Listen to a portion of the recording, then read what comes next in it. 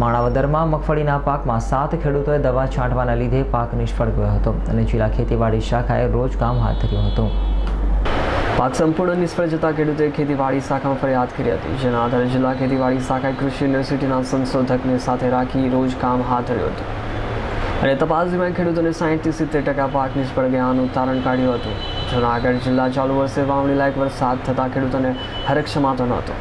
ખેડૂતોનો તંત્ર મહેનત કરી રહ્યા હતા અને જમીનમાં વાવેતર કર્યું હતું. જોકે દવા કંપનીઓ દ્વારા જે રીતે છેતરપિંડી કરે છે, તેનાથી ખેડૂતોની હાલત ખરાબ થઈ ગઈ છે.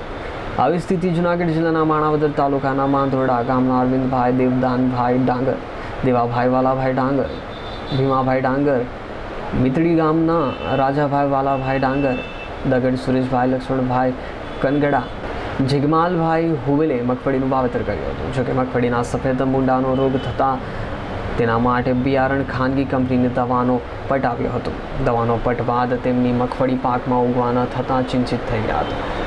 પાક નિષ્ફળ જતાં ખેડૂતે જિલ્લા ખેતીવાડી શાખામાં ફરિયાદ કરી હતી, જેથી જિલ્લા ખેતીવાડી અધિકારી કૃષિ યુનિવર્સિટીના સંશોધક સાથે રાખી રોજ કામ હાથ ધર્યું હતું. આમ જિલ્લામાં ખેડૂતો નકલી બિયારણથી છેતરાઈ રહ્યા છે અને તંત્ર દ્વારા કામગીરી ન કરવાને કારણે ખેડૂતોને મોટી ખોટ ઊભી થઈ રહી છે. આ બાબતે કડક કાર્યવાહી કરવી જોઈએ તેવી લોક માંગ ઉઠવામાં આવી છે.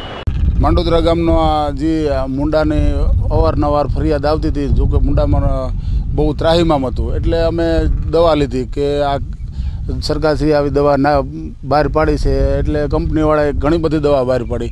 એટલે એમાં અમે જે જંતુનાશક મરી જાય આ મૂંડો અને અમારા રોગ, અમારા જે આ મગફળી વાવી અને નુકસાન ન થાય. એ માટે અમે દવાનો પ્રયત્ન કર્યો, પણ એ દવા અવરું ફળ આપ્યું કે જે એમાં માંડવી ઉગવી જોઈએ એને બદલે પચાસ ટકાય નથી ઉગી. કે એવી ત્રીસ ટકા જેટલી ઉગાવો નીકળ્યો એના હિસાબે હવે વાવેતરે શું કરવું વયસમાં? તો બીજું આ વાવેતર બગડે, ઓલું વાવેતર બગડે. એટલે એનાથી ત્રાહિમામ થઈ ગયા છે. જોકે આવા દરેક ખેતરોમાં પ્રશ્ન બન્યો છે. એક ખેતરમાં નહીં. આવા દરેક ખેતરમાં પ્રશ્ન એવો બન્યો કે જે ઉગાવો ઓછો નીકળ્યો જે નાખ્યું એ ન ઉગ્યું. મોંઘું બિયારણ છતાં નાખ્યું એ ન ઉગ્યું. હવે હું વાવવું એનો પ્રયત્ન છે. જોકે વરસાદ થાય એ પછી વાવવું હું વાવવું કયો પાક લેવો? જોકે વાયુનું પૂરતું પાણી ન હોય, એટલે બીજો શિયાળુ પાકમાં ન કરી શકીએ. એ માટે બહુ ભયંકર થઈ શકે એવું. કે આનું કોઈ ઈલાજ જ નથી. મુંડાનું જો દવા નાખીએ તો આવું ઉગવાનું પ્રયત્ન થાય. તો એના માટે શું કરવું? આ સરકાર પણ એનો આવી ડુપ્લિકેટ દવાનું કાંઈ કરતી નથી. ખેતીવાડી ખાતાવાળા પણ જોઈ જાય. છતાં પણ આ દવા આવી ડુપ્લિકેટ ખેડૂતને હેરાન કરે અને પાક નિષ્ફળ જાય તો વરા આખું નિષ્ફળ જાય. તો આના માટે શું કરે સરકાર? એનું કંઈ નક્કી નથી. મારે મગફળીનું ત્રીસ વીઘાનું વાવેતર કરેલું હતું. એમાં મુંડાનો પટ માર્યો હતો.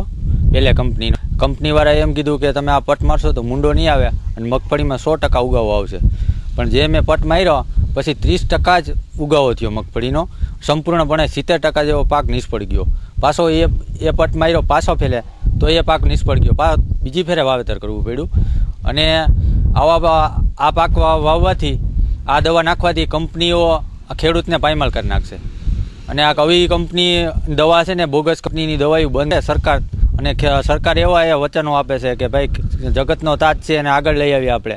જગતનો તાત આવા ત્રણ ત્રણ ફેરે વાવેતર કરશે, તો આમ તમે આત્મહત્યા કરવાનો પ્રયાસ આવશે. વનરાજ ચૌહાણ સાથે Bhimbhai ગરેજાનો report S nine news Manavadar